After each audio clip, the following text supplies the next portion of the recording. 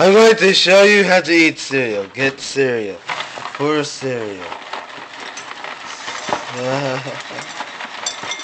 See, look at that.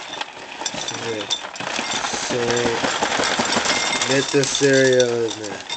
The whole bunch of cereal. See that? Not that much cereal. Okay, get some cereal. Put it back in. That's too much cereal. Put it back in. Cereal. Okay, cereal good. That's not cereal. You get the milk, open up, and pour. Look at that in slow motion. Make sure to pour it all around, get all the babies wet. You know, then you got the spoon. You know, you just dig all that in. And then you just eat. I just showed you how to eat cereal. Well, make cereal.